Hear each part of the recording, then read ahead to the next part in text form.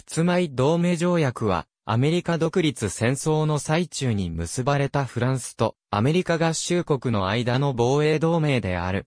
イギリス軍に攻撃された場合に、互いの軍事的な支援を無期限に約束した。1778年2月6日、パリのホテルドクリヨンで、フランス国王ルイ16世と、当時のアメリカ合衆国政府を代表する、第二次大陸会議の代表団が、仏前友好通商条約と共にこの条約に調印した。この同盟は1800年のモルトフォンテーヌ条約の締結まで続いた。ただし、1798年にアメリカ合衆国議会が条約を無効としており、また、ルイ16世はフランス革命で処刑されていた。1776年にアメリカのイギリス領13植民地がイギリスからの独立を宣言したとき、その最も同盟者となりそうな相手は、イギリスと長い間敵対関係にあり、植民地争奪ではライバルであるフランスだった。フランスは、フレンチ・インディアン戦争で、イギリスのために、アメリカ大陸にあった領土の大半を失っていた。ヨーロッパにおける列強の力関係を揺るがした7年戦争における、イギリスの勝利で警告を受けたフランス指導層は、その戦争を終わらせた1763年のパリ条約以来、報復のための戦争を計画していた。フランスの外務大臣ショワズールは、スペインと同盟することで、これが叶うとみなし、フランス・スペイン同盟軍でイギリスを侵略することを想定していた。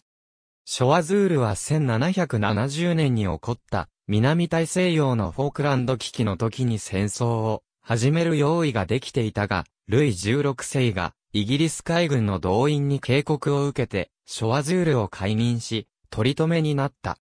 結果的に、ジョン・アダムズがフランスと将来の独立植民地である、アメリカとの間に通商条約を模索して、その条件を書き始めたが、これでは、植民地における、フランス軍の存在と植民地事情に関わるフランスの権限の見込みを否定していた。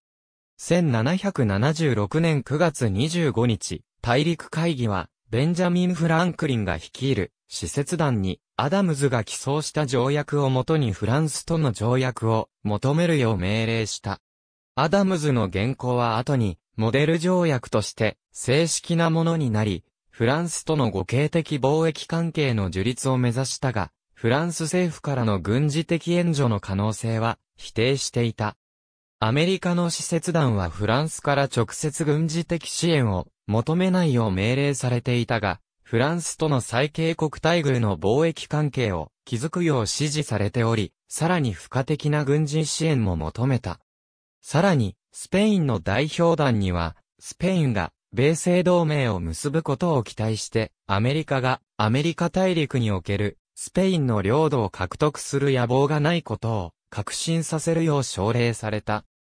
アメリカが独立宣言を発し、イギリス軍がボストンを明け渡したという知らせがフランスに届くと、当初は同盟に対して積極的だったが、フランスの外務大臣、ベルジェンヌ伯爵は、イギリス軍がニューヨークでジョージ・ワシントン軍に勝利したという知らせを聞くと、正式なアメリカとの同盟条約の調印を延期した。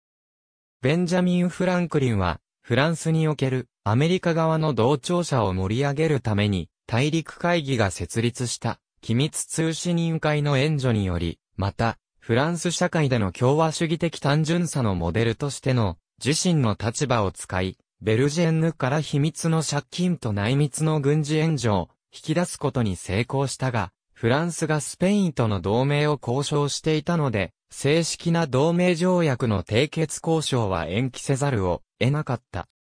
ベンジャミン・フランクリン、フランスにおけるその貴族的なスタイルが、アメリカ独立戦争における、フランスの支援を得ることにつながったイギリス軍が、サラトガの戦いで敗北し、イギリスからフランクリンに、秘密の和平提案が行われているという噂が大きくなると、フランスはこの機会を捉えて、スペインとの交渉を放棄し、アメリカとの正式な同盟の検討を始めることにした。ルイ16世から公式の同盟交渉を始める、了解を得たことで、アメリカは1778年1月に、イギリスの和解提案を拒否し、友好通商条約と同盟条約の調印に、つながる交渉を始めた。同盟条約はフランスにとって、実質的に保健政策となるものだった。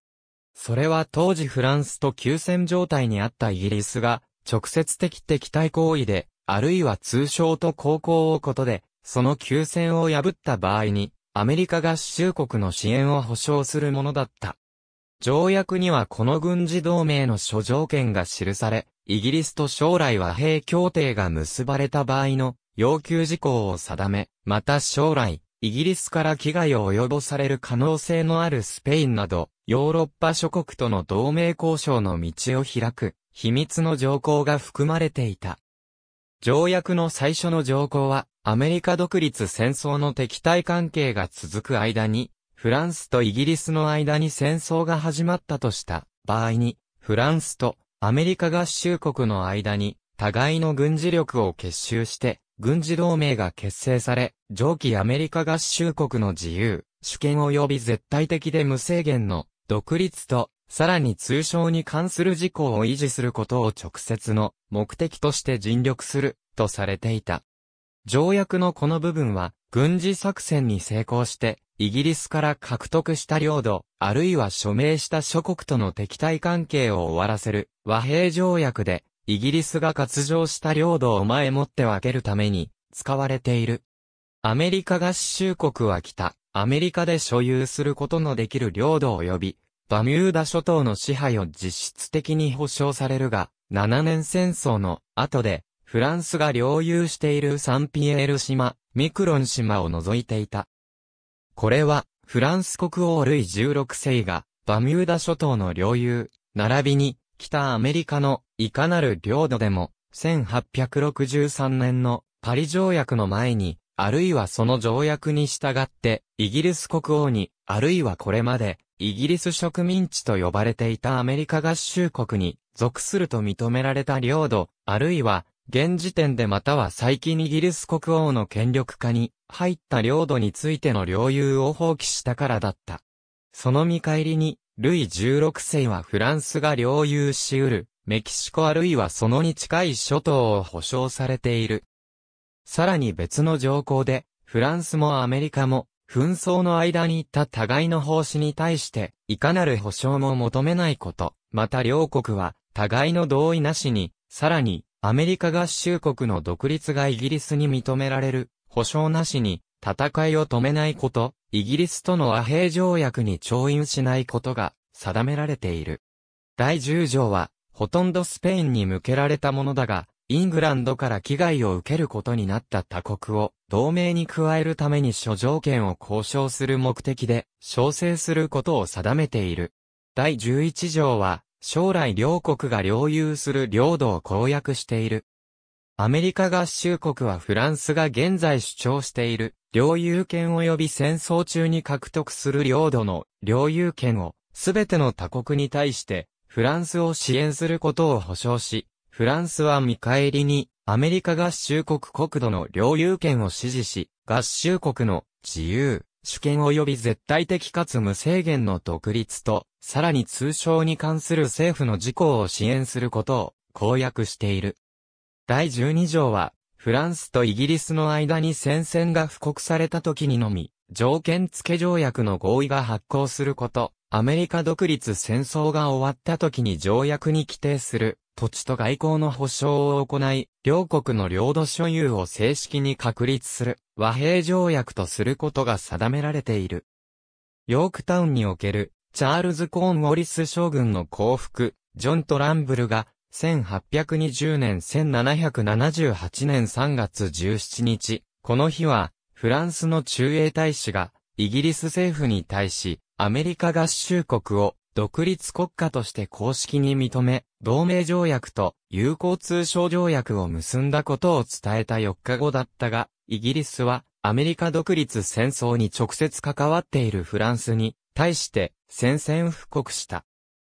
フランスが戦争に参入したことが引き金となり、1779年4月12日にアランヘス条約に調印した後で、スペインがフランスの同盟国として、イギリスとの戦争状態に入り、さらには1780年12月、フィールディングとバイラントの事件中に金製品をフランスに運んでいるとしたオランダ商船をイギリスが捕獲した後で、イギリスはネーデルラント連邦共和国に対して宣戦布告した。フランスはアメリカとの同盟条約に調印した後、大陸軍にとってぜひとも必要だった武器、弾薬及び制服を供給した。さらに西インド諸島での軍事力を増強し、イギリスがカリブ海での勢力を確保するために、北、アメリカから陸軍と海軍の資源を割くように仕向けた。フランスが参戦したことは、ロシャンボー伯爵の指揮する1万800名の陸軍と、グラス伯爵の指揮するフランス艦29隻が、ジョージ・ワシントンとラファイエット公爵の軍隊と合流し、イギリス軍コーンウォリス卿の軍隊を降伏させた、ヨークタウン包囲戦の成功で、その重要さが証明された。このことで、戦争の残り期間は、北アメリカ大陸での戦闘を実質的に終わらせることができた。イギリスは、アメリカ独立戦争の敵国に対し、個別に和平の交渉を行おうとしたが、スペイン、フランス、及びアメリカ合衆国は、イギリスとの交渉を共同して行い、1783年のパリ条約で敵対関係を終わらせた。1783年のパリ条約の直後に、アメリカ側は、条約の中で、軍事同盟を終わらせる期日を決めていなかったことを、疑問に思い始めた。それは、条約が、未来永劫に続くことを意味し、実質的に、アメリカ合衆国とフランスの間の、恒久的同盟を作ったことを意味していた。フランスと永久に結びつくことを嫌ったアメリカ人、特に財務長官のアレクサンダー・ハミルトンと、その支持者である連邦党は、フランス革命を条約を公式に破棄する機会と捉えた。ヨーロッパ諸国は、フランス革命中に、ルイ16世が処刑されたことで、この条約は破棄されたと考える合意があったが、アメリカ合衆国大統領のジョージ・ワシントンは、トーマス・ジェファーソンと共に、フランスの支配体制が変わっても条約は有効なままであると宣言した。ワシントン政権は条約が有効なままであると宣言したが、ワシントン大統領の中立宣言とそれに続く1794年、中立維持法によって、実質的に条約の軍事条項は無効化し、二国間の関係が次第に悪化する時期の始まりとなった。フランスの新しい大使エドモンド・シャルル・ジュネは、市民、ジュネ事件の間に、スペインの領土とイギリスの軍艦を攻撃するために、民兵隊を立ち上げ試略戦を用いようとしたが、ワシントンの中立宣言で、フランスに対する世論を変え、長い間フランス B 期で国務長官を務めていたトーマス・ジェファーソンを辞任に追い込むことになった。さらに1794年のロンドン条約、通称 J 条約に調印することで、多くのフランス人は、アメリカ独立戦争の間に、その独立のために戦うアメリカに、フランスが与えた支援にもかかわらず、アメリカ合衆国が、イギリスの要求に屈し、フランスを捨てた裏切り者であると確信した。ジョージ・ワシントンの辞任挨拶で、同盟関係が、さらに悪化した。ワシントンは、この挨拶文で、アメリカ合衆国は、条約の軍事条項を遂行する必要がないこと、さらに同盟条約の結果として、現在フランスと結んでいるような恒久的な同盟の危険性について警告した。この条約に対する大衆の反感は、ジョン・アダムズ大統領の時に最高に達し、XYG 事件の最中に、フランスがアメリカの全権施設を拒み、関係正常化を拒んだ後で、1798年7月7日に、アメリカ合衆国議会によって、条約の公式な破棄が宣せられた。フランスが、フランス革命戦争の間に、アメリカ海軍の艦船を捕獲したことに対する、報復として、アダムズ内閣が、疑似戦争と呼ばれるフランスに対する宣戦布告なき、戦いを遂行することで、実質的に同盟条約を無効化し、フランス政府のみによって維持されている軍事同盟について、非公式に戦争状態にある二国間の公式の宣言と表現された。両国関係が悪化し、相互の公式及び大衆感情は悪化していたが、正式に両国がこの条約を破棄したのは、モルテフォンテーヌ条約、通称1800年協議への調印を行った1800年9月30日になってからだった。これで1778年に始まったフランスとアメリカの軍事同盟が終わった。AB The United States Statutes at Large, ハット A Century of Lawmaking for A New Nation, US Congressional Documents and Debates, 1774-1875ハットシムズ、ブレンダン、 Three Victories a Defeat、The Rise Fall of the First British Empire、ロンドン、2007、ピアニッシモ、5231ロングメイト、ノーマン、 Island Fortress、The Defence of Great Britain、1604-1945、ピムリコ。1991、ピアニッシモ、183-85、ハット ABC Perspective on the French、American Alliance、ハット ABCDEFG Avalon Project、Treaty of Alliance Between the United States、and France。February 6、1778エドラー2001、ピアニッシモ、163-166、ABCD French、American Relations in the Age of Revolutions、From、ホープツーディスアポイントメント。ありがとうございます。